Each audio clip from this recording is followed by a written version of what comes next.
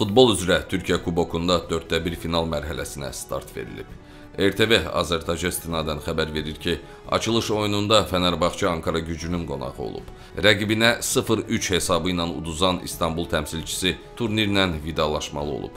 Meydan sahiblərinin heyətində qolları Olimpiyo Morutsan, Anastasios Çatziyokovannis və Geri Rodriguez vurublar. Xatırladaq ki, Türkiyə Kubokunun son qalibi məhz Fənərbağçı klubudur.